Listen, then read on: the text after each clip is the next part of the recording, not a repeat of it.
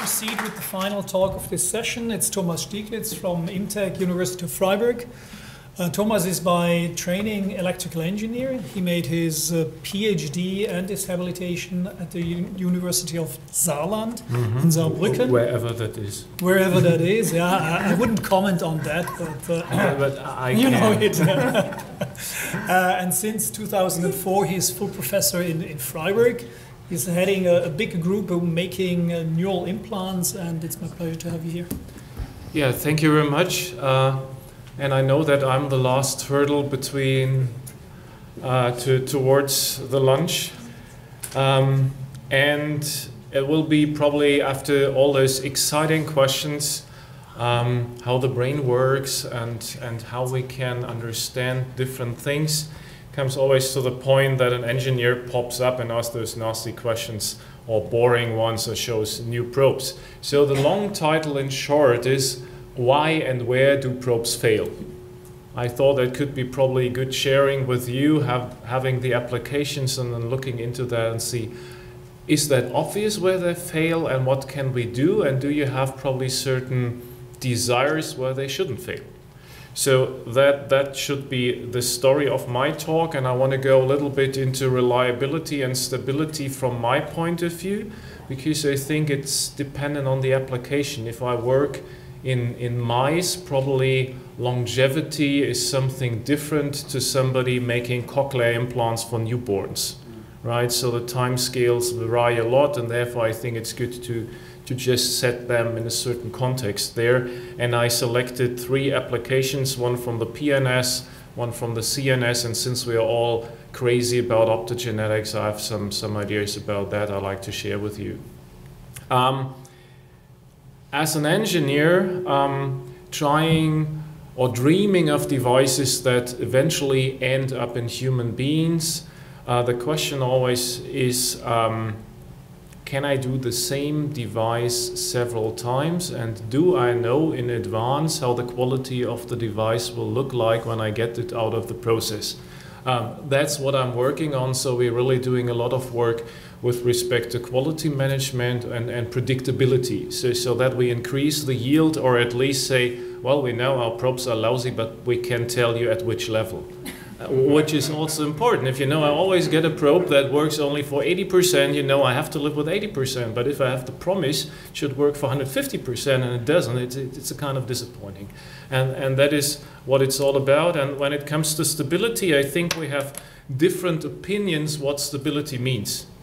One would say if I get a single neuron for four weeks, that's stable. Somebody else would say, um, I'm happy enough uh, if the connector does not break or something like that. And therefore, it's a really, I, I know this, this is a kind of uh, kindergarten uh, sketch, but I think it's important to see that we have two factors. One is the technology, where engineers can do a lot about that and try to do something. Um, and the other is the human factor and the biology. And we cannot, I've just recently reviewed a paper and people, say, oh, a biosensor works perfectly well if I dilute PBS by a factor of 100.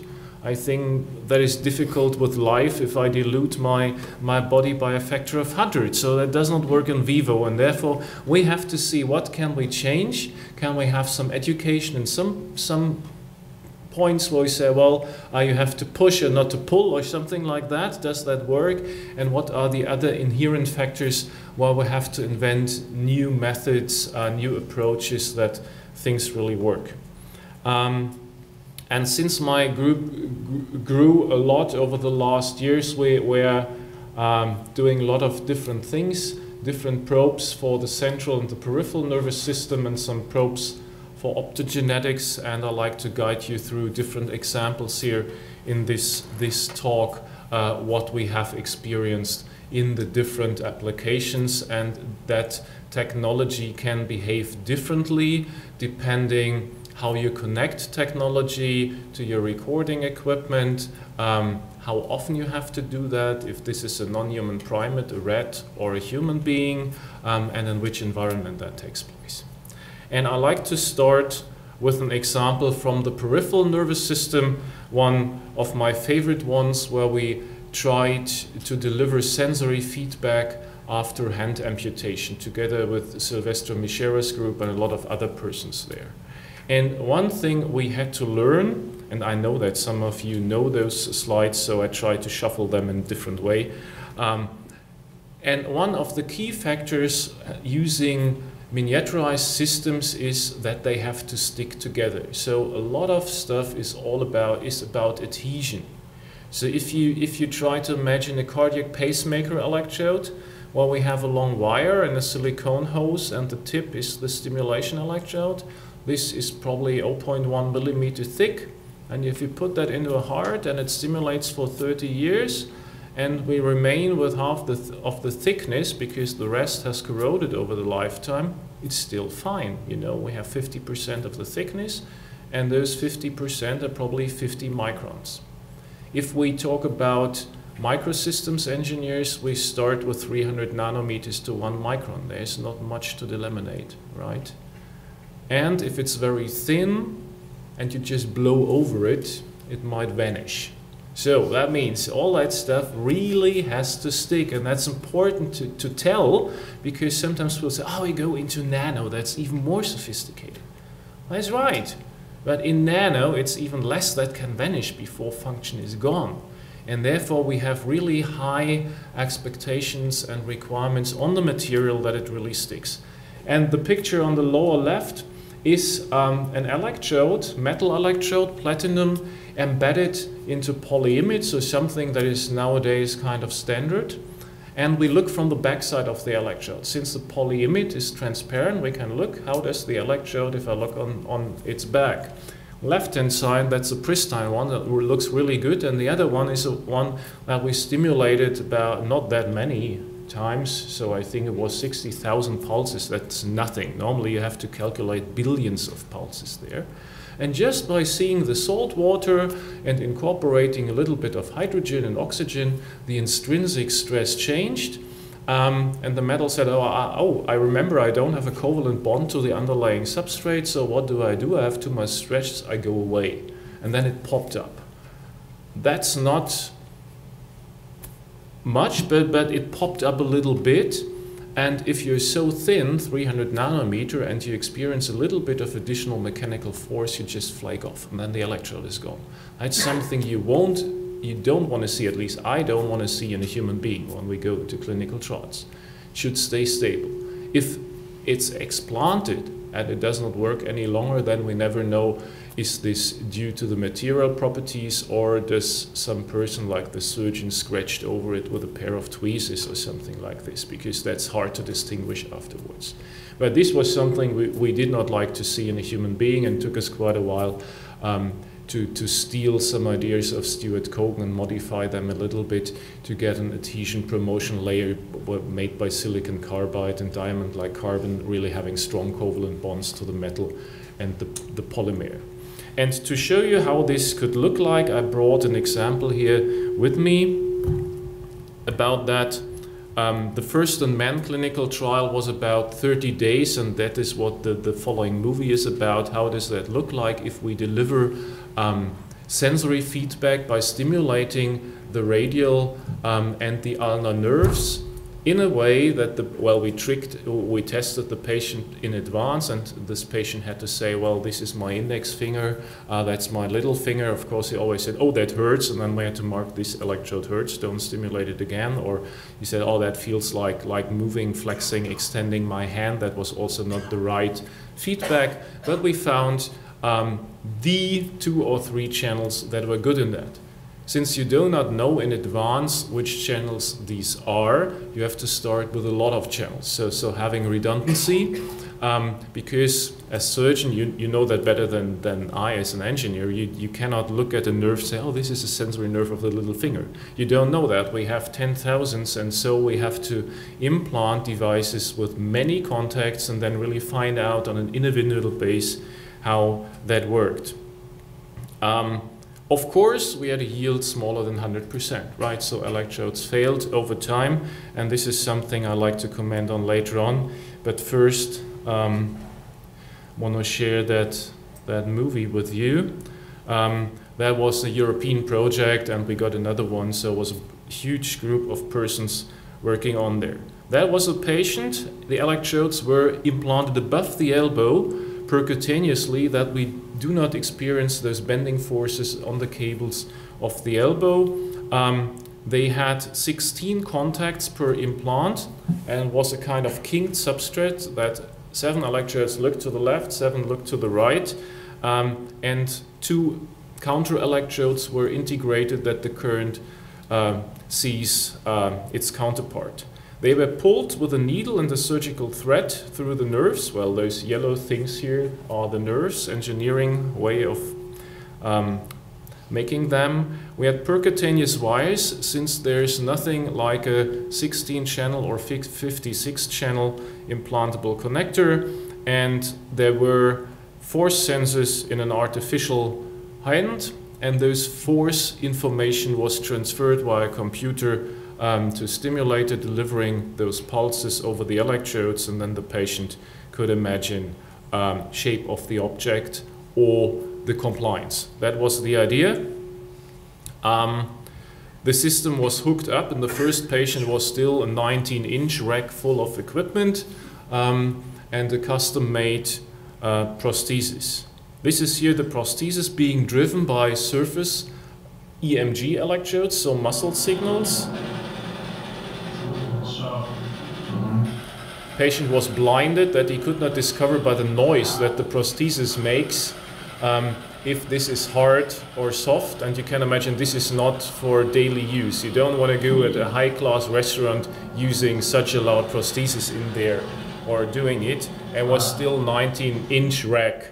Um, upcoming system was miniaturized, could be carried in a backpack, and our chronic patients were able, one, one was able to drive a car, others were able to do what they like to do, like walking around in the garden, um, things like that. So it worked up to six months, and I'd like to share with you now the failures.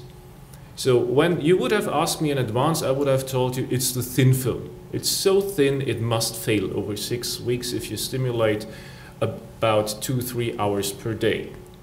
This is how the thin films looked like. Um, we had here the electrode size, 18 microns in diameter. And if you look from the side, this is the, the functional iridium oxide, this is the intermediate layer, this flaky cookie-like structure is the, the uh, interfacial layer, and those of you who like to ask me about that, I can talk about that, but probably not in that context of that talk that would last for another 20 minutes, and that's the polyimide. Before, after six months of implantation. What, what I have learned is that we cannot get rid of all the proteins here. So even after days of trypsination, there is still something on the top that, that does not get off. Um, but we see an intact structure, no delamination, no loss of iridium oxide. Um, you would have your own mind as engineers what could have gone wrong. So this is quite promising. The next step was, well, um, having these thin, flexible sheets of polyimide um, interfaced with a ceramic adapter to solder the cables on, probably that could shear off or rip off there. Yeah, it can. It depends on the surgeon if it does or does not. But what we found out is that this connector is also quite stable, even though we are a little bit afraid that soldering with, with lead tin wire is not the final solution for that. But it worked all well. It's still allowed to, according to international medical device laws. And the cables, 16 strand helically wound into silicone rubber hose, were also fine. So good, but the electrode failed. Why? It was the human factor. So none of the persons using the electrodes read the user's manual. You know that very well, I think, yeah? Um, and by not reading it, and we completely underestimated that problem, those persons kinked the con cable connectors, Stefan. All of you know those nasty, too expensive connectors from Omnetics, but they are the only one having 16 channels at that, si at that size, right? And after four five months, just by bending, handling them, they broke. And well, the solution is as easy as stupid and simple. You just have to reinforce them and then they don't break. But they cannot be implanted. That means for translational research into a fully implantable system, um, and I don't, I don't mean that it's not allowed. Well, if it's not allowed and it works, you can come around. But, but it doesn't work for, for a long time. So, so there must be another solution. and probably in two or four or six years, I would be very happy to deliver one of those solutions, but still there's nothing around that really works. But that was the surprise for us. It's all about cables and connectors there. Um, what about CNS interfaces? So we started to have those, for us, high number, 250 contact point ECOG arrays for non-human primates. Um, and the question is, how good do they last? Right? They should be implanted into trained monkeys, so that's a lot of effort that you have to do. How long can you record? And that was our first version being published in 2009.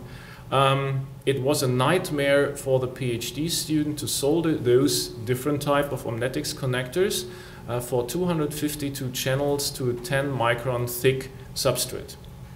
And I was told by our colleagues, Pascal Fries and co-workers from the Max Planck Institute, it was also a nightmare to, to implant that stuff. Um, but it worked well, but we were not happy with the system concept because that is a single sheet and if you fail at the last soldering point, you have another demonstrator uh, for the next whatever, girls day, boys day, day of the open house, but it does not work because you screw up the whole system at the very last second.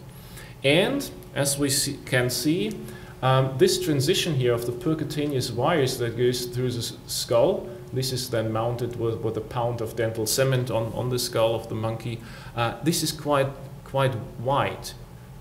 Can that miniaturized somehow? And we, we invented, so not we means Eva invented in her PhD thesis, um, a kind of Christmas tree modular approach where you have different lines that you can assemble one after the other on a rigid substrate and thereby you can exchange. If one fails, you just rip it off and, and take the next one.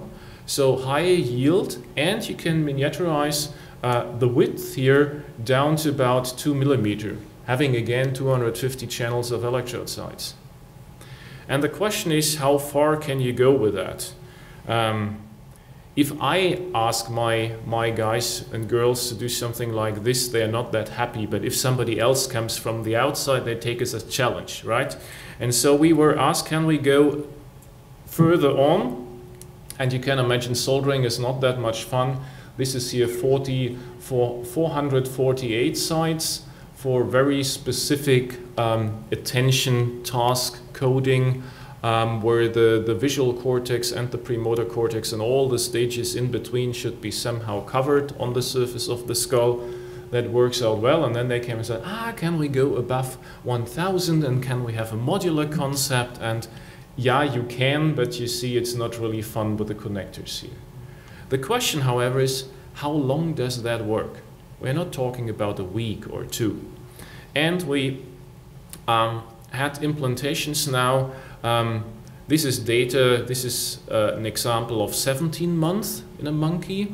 And in those, after 17 months, we have a dropout of 20 contacts out of 252. That's less than 8%. I'm quite proud of that. But the question is, why did they fail and where did they fail? If you look here on the left-hand side on the array, you have no idea. You say, ah, hmm. Yeah, they failed, period. But if you look on the connector side, you see that there's could be kind of creeping here from one contact to the other, that they short circuit. So there must be something just by handling, putting the connectors on and on, and you need a certain force, and if you wiggle around, probably you destroy a little bit of epoxy or dental cement or whatever, and then water leaks in and chemistry does its way. So the question therefore is, what can we do to enforce the in insulation resistance and then make it like like a cushion. You know, if you if you have a, flexible damper, probably that's better. Yeah, that took us a while, and we read a lot. And one of my PhD students um, had to to realize our stupid ideas that we had. Um, and the idea is, and there's a poster around in the afternoon. Um, when we take silicone rubber in cardiac pacemakers in deep brain stimulators and cochlear implants to insulate the lines. Can we take that material also for microsystems? So that would be having the desired 1000 channels. You have the electrode array, you might have an implant package, you have to protect the electronics, but how do you prevent that you have short circuits between adjacent contact pins then on, on, on your circuitry?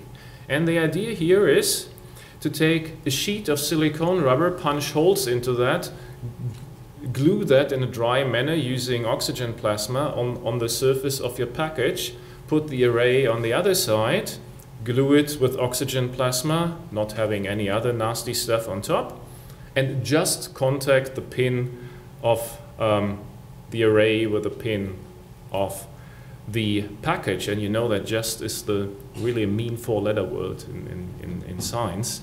Um, took us about three years to go, go there.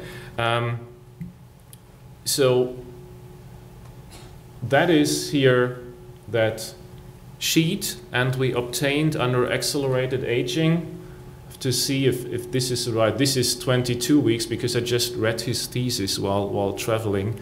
Um, so we have no long, more long-term data. But having accelerated aging at 60 degrees C, um, we still have an insulation resistance between adjacent pins of 2 mega ohm at 1 kilohertz.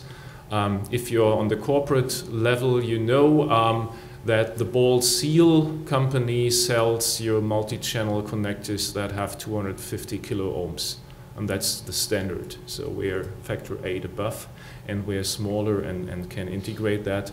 Um, there's a poster around since my student um, was not able to come because he had to finish his PhD thesis writing because he gets thrown out due since his visa runs out in September and gets a little bit nervous. Uh, he decided that I'm experienced enough to present that poster. So if you have questions, you could ask me later on.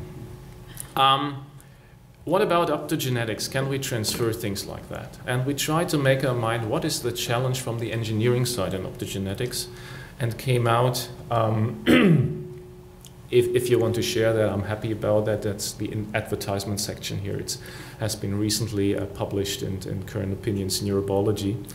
Um, so if, if we look on optogenetic probes, we, we have on one hand, I've, I, I love that picture with your newborn mouse and having that laser sword implanted um, there for optogenetic experiments. It's, it's really the challenge how to get the light in. What about the cables and connectors? Do we have wireless systems?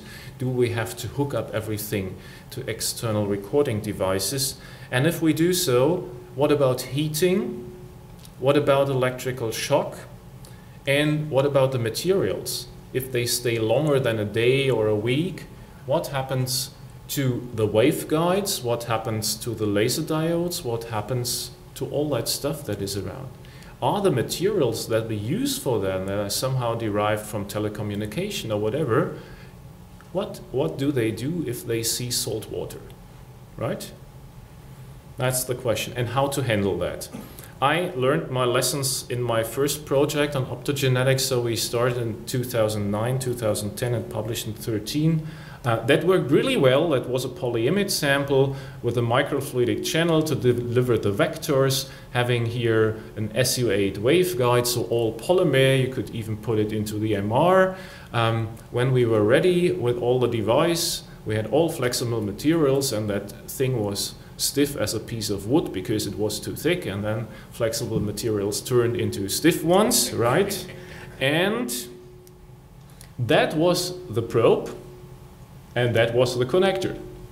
You can imagine that is not really fun to implant that. First, having dental cement around the electrical connections, not gluing up here that, that counter electrode, having the ferrule thing for, for the waveguide, having here a microfluidic channel to, to inject the vectors, that was a nightmare. Even though we had good results, we thought probably we should step back, uh, think about that, and look what we can do.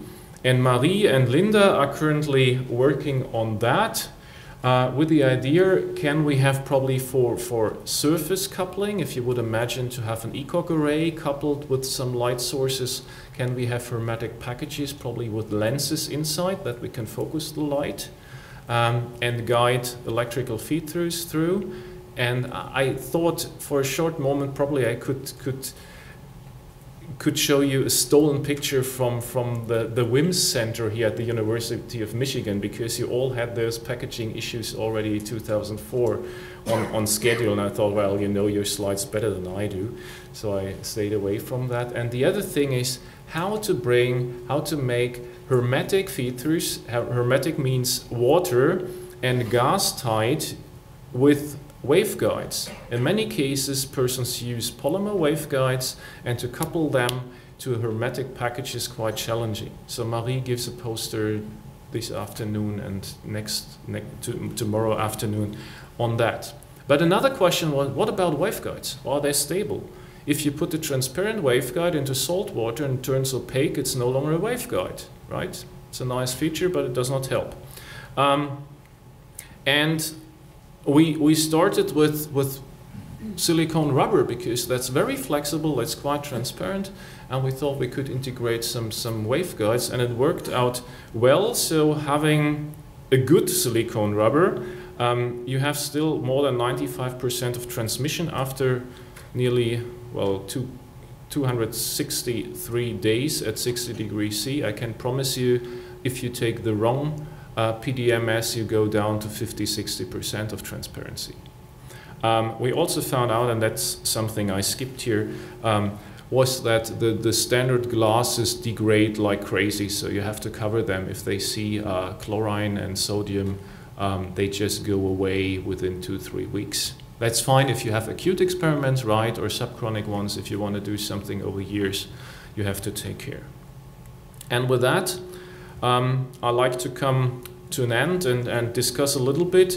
I think we have to keep in mind that we should go on with iterations, not waiting for the very final device or the very final result, but really see how far we are, what can we gather as knowledge, and then couple out whatever is available for, for certain sub applications and not look for the ideal one size for all.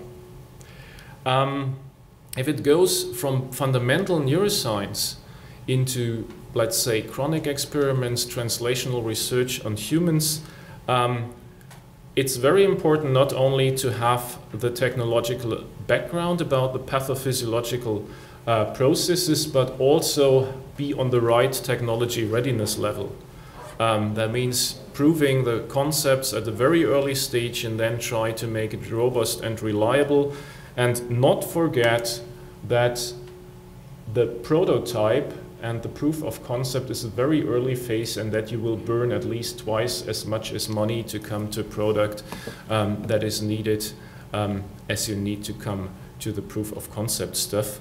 Um, and that the valley of death broke a lot of necks in translational research in, in many groups. So to conclude and be at the end of that, um, I think we really, as engineers, have to step back sometimes and have to admit that the application has to determine um, the manufacturing technology and not the other way around. So if I just have a hammer, not everything is a nail. Um, we need robust and reliable systems to be able to go into chronic settings. Um, I think we still could train um, our common language in neural engineering from both sides, and I think those meetings are really good for something like that. Um, and as already said, it's a long way um, towards a medical device and a product, but if you don't start and do, don't do the first step, you will never reach the end and no, no new devices on the market. So that's really encouraging. So, so research is cool, we can go ahead. And with that, I'm, I'm at the very end. Just want to thank all the members of my group um, for doing all the beautiful work and have to thank all the funding agencies that donated a lot of money over the last 14 years to make this story to come true. And thank you for your attention. I'm happy to take questions.